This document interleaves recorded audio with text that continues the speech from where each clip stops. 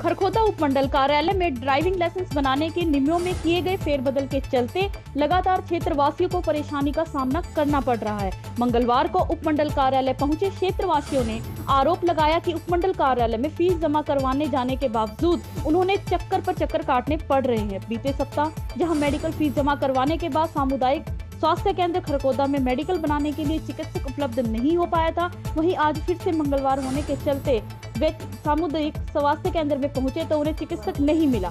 ऐसे में आज उनकी तरफ़ से सीएम विंडो पर शिकायत देकर समस्या के समाधान की मांग की गई है। पिछले कई सप्ताह से हमने ये मेडिकल करवाने के लिए दो सौ रुपये पर्ची कटवा रखी है, लेकिन वहाँ जब मेडिकल करवाने जाते हैं, हॉस्पिटल में तो वहाँ तो आखा, डॉक्टर मिलता ना खून टेस्ट होता ना कान चेक होते हैं। कई मतलब सभी साथी आई साथी इसके कारण मतलब परेशान हो रहे हैं। लेकिन हमारी कोई समस्या समाधान नहीं हो रहा है। हमने एस डी एम ऑफ़िस और एस एम ओ को शिकायत दी थी और हम आज एस डी में सी एम विंडो पर अपनी एप्लीकेशन लगा रहे हैं। इस अवसर पर जितेंद्र नरेश सचिन तरुण मनोज विद्यासागर विकास सुरेंद्र व राजेंद्र सिंह मौजूद रहे। खबर तहलका के लिए खरगोदा से सोमपाल सैनी की रिपोर्ट। हरियाणा से जुड़ी खबरों की तह तक जाने के लिए सब्सक्राइब करें खबर तहलका। बेल आइकन को प्रेस करें।